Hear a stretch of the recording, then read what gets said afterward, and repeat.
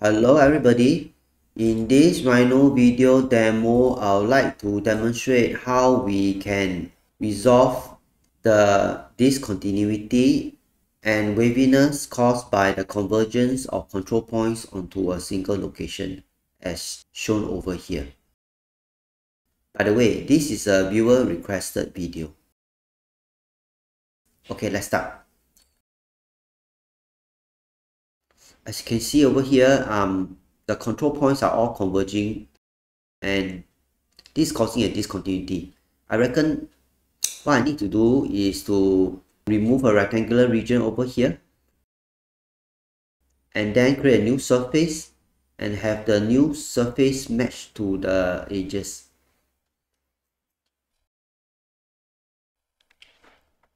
Let me uh, start by creating a point over here so you can see what I'm doing better. Okay, I'm going to make sure that the object end snaps turn on so that it can snap uh, properly to the end here. And I'm going to use this as the center of the rectangular object that I'm going to create. I'm going to use this rectangle center corner to create the rectangular curve. Okay, maybe something like that. It's a good idea to turn on the zebra so that you can see uh, roughly which are the region that needs to be removed. I reckon um, I might have to enlarge this to ensure a smoother like uh, surface over here. Gonna turn on the gumball make this slightly bigger. Okay maybe something like that. And then I can um do the trim. Cutting object is this. Object to trim and region to trim is this. Okay.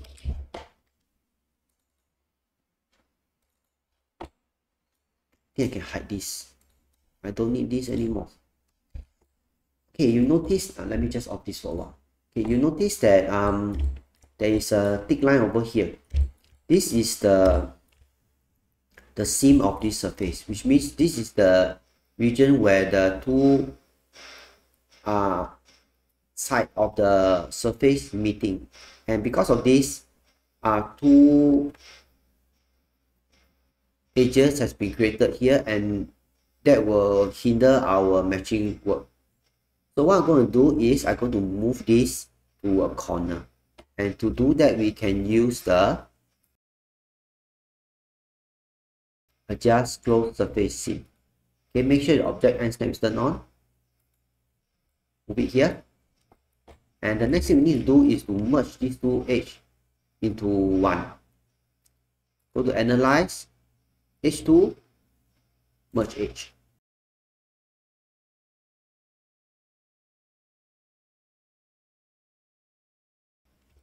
Okay. Now um let me just turn on the zebra again.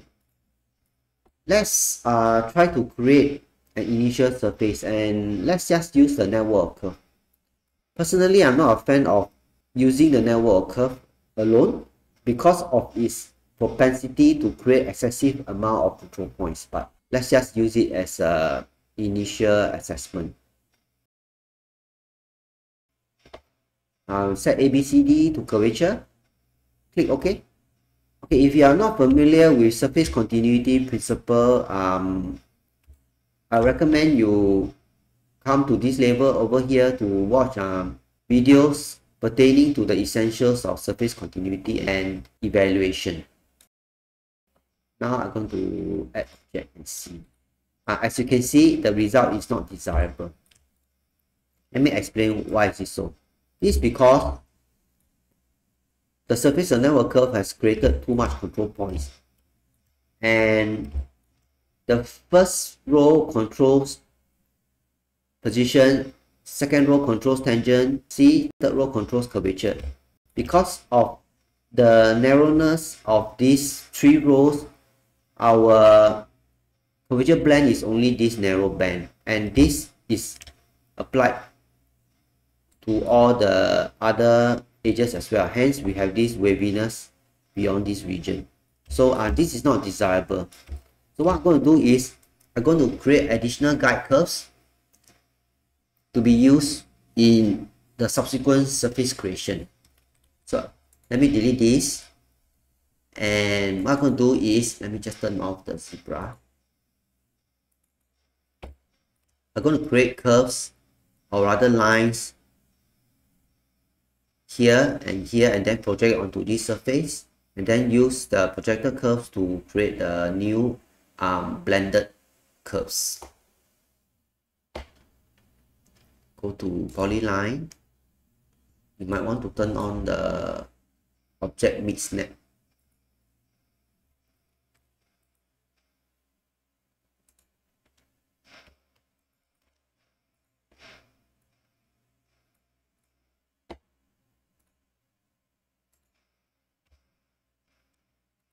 Okay I found the center. Then I'm going to project them onto this surface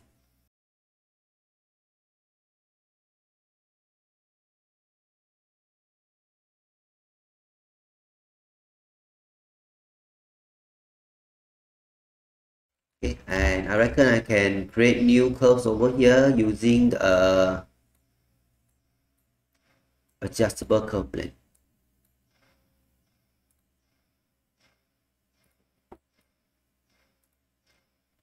Oops let me repeat this again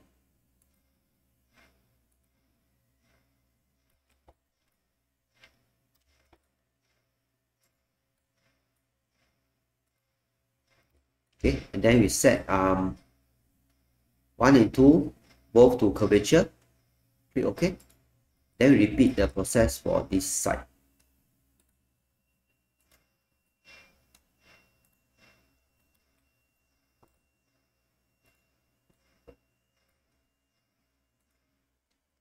Okay.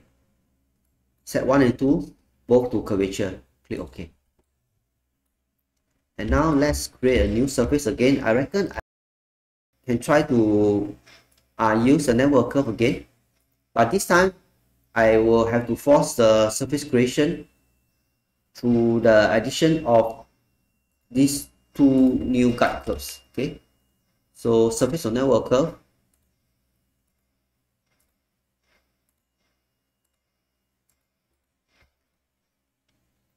and include these two new guide curves okay? This will force the surface to pass through the the curves as well okay? And click uh, make sure that a b c d are all set to curvature.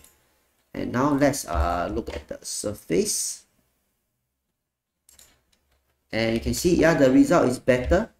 This is because instead of relying on the surface of network alone to do our match which tends to give undesirable results we are also are forcing the network curve to create the surface through this previously uh, matched or blended curve okay? So this will ensure that the, the, the resultant surface is not relying only on the surface of network curves to do its matching but actually also um, being forced to create a surface via the additional constraint imposed by these guide curves okay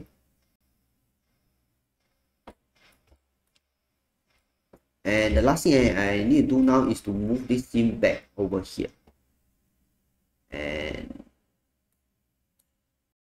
I can use this adjust close surface seam again.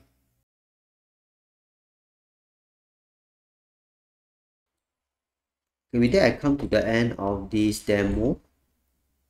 Hope that's been useful. See you. Bye